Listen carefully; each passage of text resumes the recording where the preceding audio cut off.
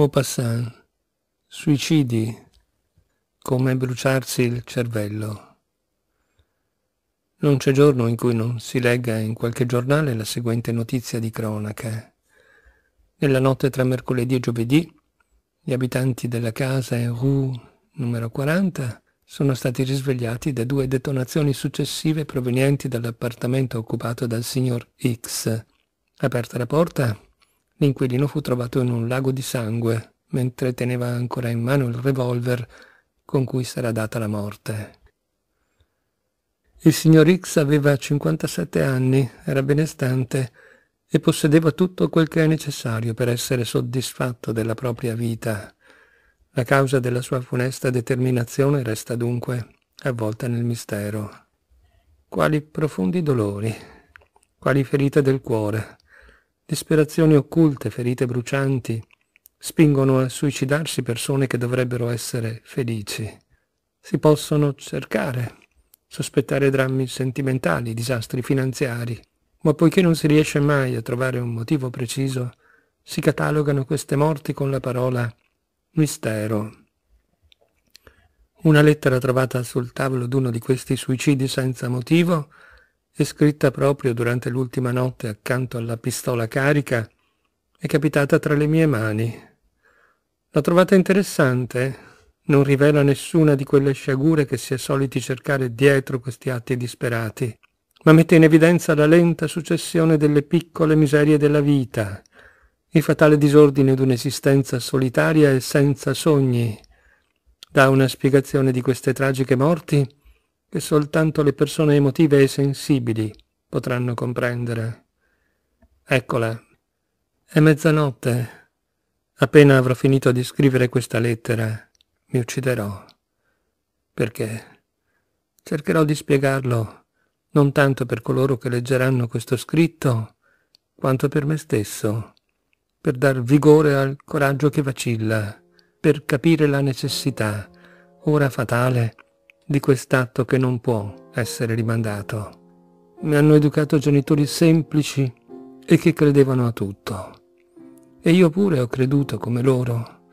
Ho vissuto a lungo in questo sogno. Gli ultimi brandelli si sono lacerati soltanto ora. Già da qualche anno mi accade una cosa strana.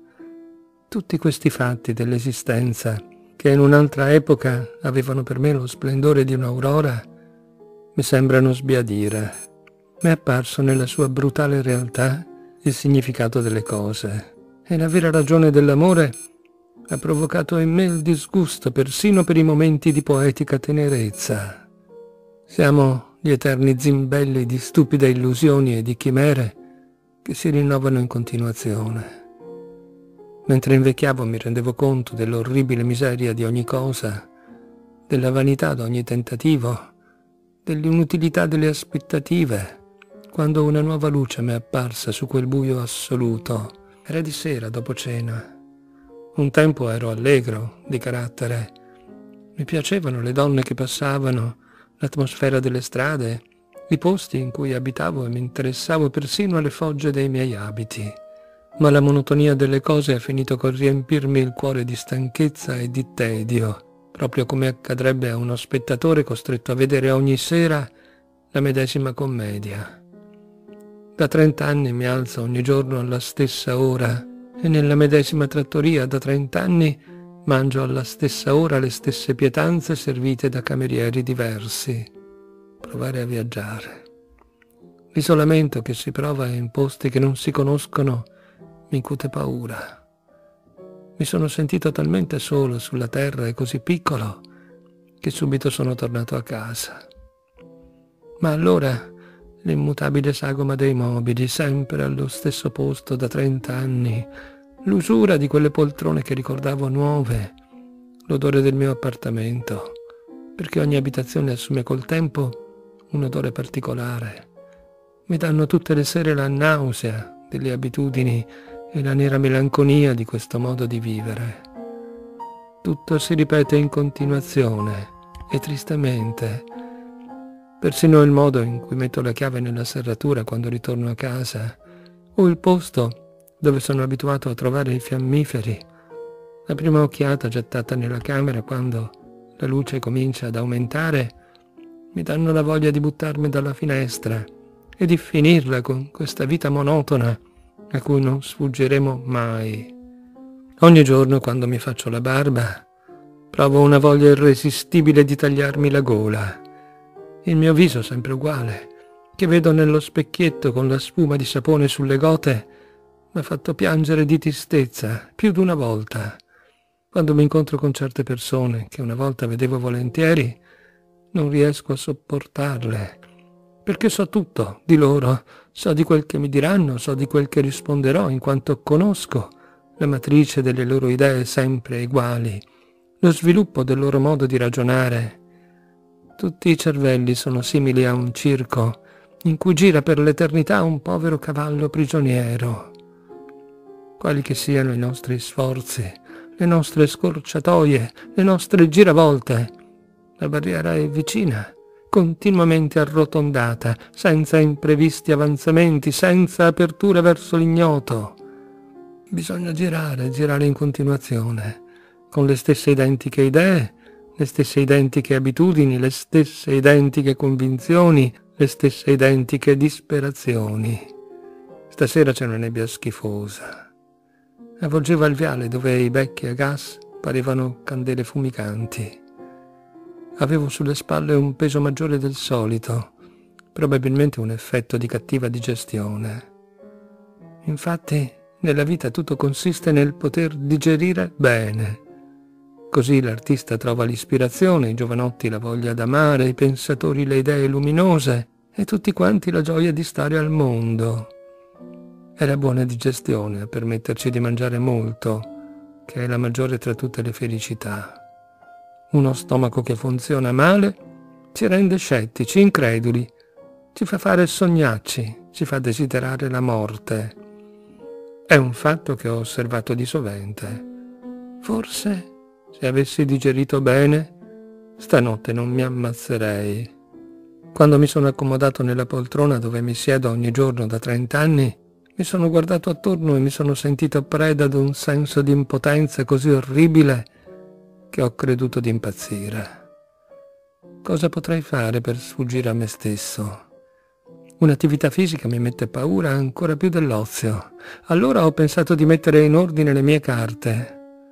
È da tempo che pensavo di far pulizia nei cassetti della scrivania. Da trent'anni ho l'abitudine di buttare disordinatamente lettere e fatture nello stesso mobile. Questo disordine mi ha spesso provocato qualche disguido, ma la fatica morale e fisica di riordinarle ha fatto sì che non ho mai avuto il coraggio di impegnarmi in questa odiosa occupazione. E allora, seduto davanti alla scrivania, l'ho aperta col proposito di fare una cernita dei vecchi documenti per distruggerne una gran parte. All'inizio rimasi turbato di fronte a quei mucchi di carta ingiallita, poi presi un foglio.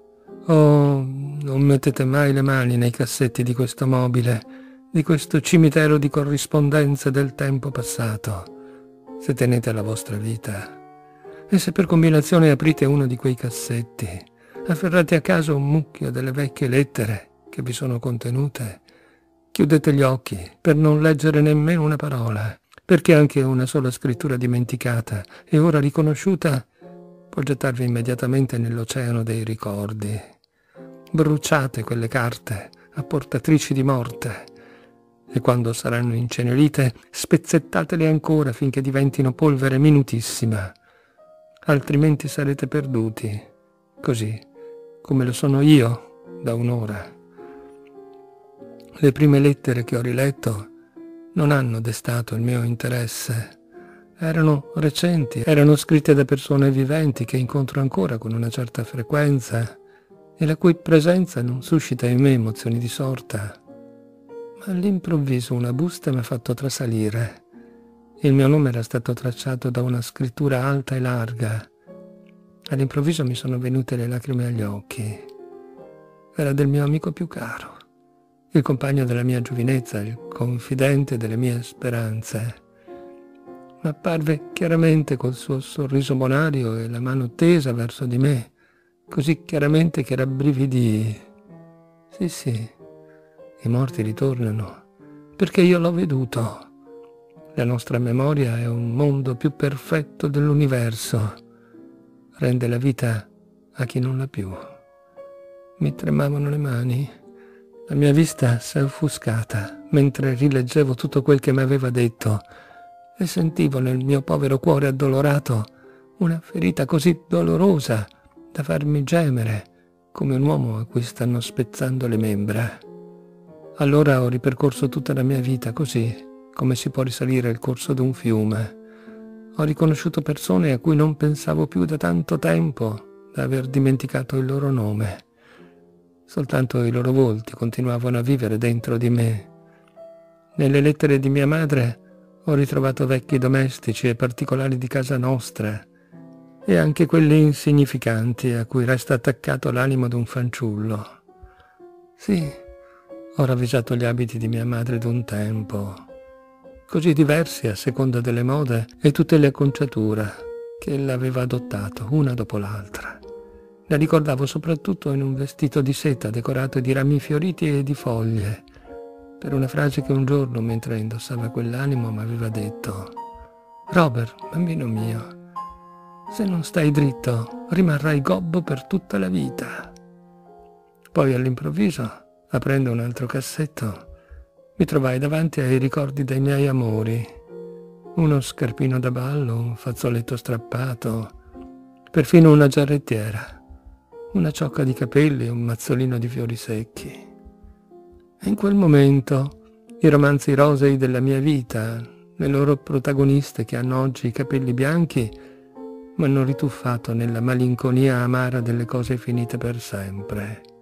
Oh, fronti giovani su cui si arricciano capelli d'oro, mani che sanno carezzare, occhi eloquenti, cuori che palpitano, sorrisi che promettono il contatto delle labbra, labbra che promettono amplessi, e il primo bacio, quel bacio che pare non finire mai, e che fa serrare gli occhi, annienta ogni pensiero dell'incommensurabile felicità della conquista vicina.